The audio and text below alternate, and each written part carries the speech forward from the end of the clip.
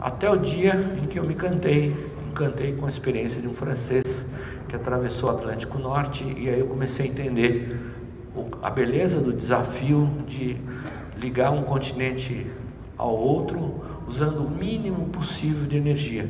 A experiência de usar feijão e arroz como combustível para ir da África até o Brasil é maravilhosa. Ela é bastante sofisticada também. Ela não é uma experiência grotesca ou tosca. É uma experiência bem, porque não tem espaço para redundância num barquinho de 5 metros de comprimento. Esse barquinho que está aqui exposto agora no salão, eu olho para ele até hoje falo, mas da onde que veio essa, essa ideia? Como é que eu aguentei ficar nesse barquinho 100 dias e 6 horas? Ele estava em São Paulo há duas semanas atrás e eu falei, bom, eu passei mais de três meses nesse barco, em condições difíceis, ondas grandes, não sei o quê. Eu vou passar a noite hoje aqui, vou dormir dentro do barco. Levei uma garrafa de suco, levei uma vela, uma lanterninha, levei um vinho se eu não conseguisse dormir. Eu não consegui ficar três horas lá dentro, me deu claustrofobia. Eu estava na máxima segurança do quintal da minha casa, eu não consegui ficar dentro do barco. E não é que eu não gosto mais de barcos, eu gosto mais do que eu gostava.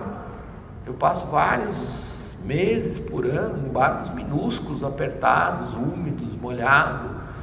Mas é estranho, a sensação de, de estar parado é uma sensação muito, muito triste, muito esquisita. E o fato é que essa experiência foi uma experiência muito feliz, me ensinou que tudo depende do contexto. Quando a gente está num contexto, por exemplo, de, de grandes problemas, de grandes crises, de guerra, que felizmente o Brasil poucas vezes se aproximou desse tipo de contexto, os problemas mundanos do dia a dia, a falta de água, por exemplo, a falta de conforto, a falta de energia, passam a ser problemas incrivelmente menores ou mais fáceis de serem resolvidos. E foi assim que, aos poucos, eu me encantei com a ideia de conectar um lado ao outro do Atlântico. E o lugar que eu escolhi para fazer isso foi uma cidadezinha muito interessante, que se assemelha muito com São Francisco do Sul, por exemplo, uma cidade histórica na beira do mar, que é um porto natural. Essa cidade fica na Namíbia e a cidade inteira é isso aqui, e eu escolhi essa ponta aqui para sair da África e da África alcançar o Brasil. A grande dificuldade desse lugar é que essa que essa região toda ao redor de Luderitz, a cidade que eu escolhi para começar a minha viagem, é a principal região produtora de diamantes no mundo. E o acesso à região dos diamantes, a África, a Namíbia era ocupada pela África do Sul, o acesso era proibido. Então havia uma infinidade de problemas burocráticos. Ninguém pode entrar na zona dos diamantes, ninguém pode se aproximar. Qualquer barco que chegar perto da praia, ele é apreendido e destruído. A roupa do corpo é atirada das pessoas e queimada. Nem os documentos podem ser carregados porque o controle sobre a saída de diamantes é absolutamente rigoroso. Nenhum, nenhum veículo que entra na zona de diamantes sai, nenhum objeto, excluindo seres humanos, sai. Os seres humanos só saem pelados. Pelados e após passar no raio-x para ver se não engoliram diamantes. Então eram problemas é, que eu não conhecia, eram problemas fascinantes, né? a gente não tem esse tipo de problema no, no Brasil.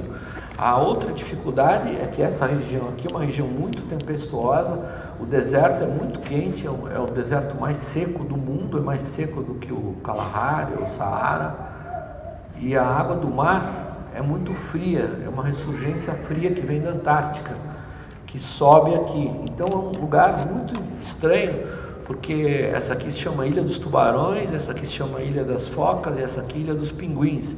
Aqui tem uma enorme colônia de pinguins, quer dizer, o deserto mais quente do mundo tem pinguins. Era tudo era surpreendente e foi daí que eu acabei, é, foi esse lugar que eu acabei elegendo como ponto de partida. aconteceram coincidências interessantes durante essa preparação dessa viagem. Eu, pelo fato da zona ser uma zona proibida, eu não conseguia a documentação, as cartas náuticas, e foi assim que eu acabei ganhando de um primo meu uma, um abajur. Ele não sabia disso. Por coincidência, esse abajur tinha uma carta náutica que eu procurei durante anos, durante quatro anos, não achei para comprar em lugar nenhum. A carta náutica é essa aqui, ó, Bahia de Ludritz.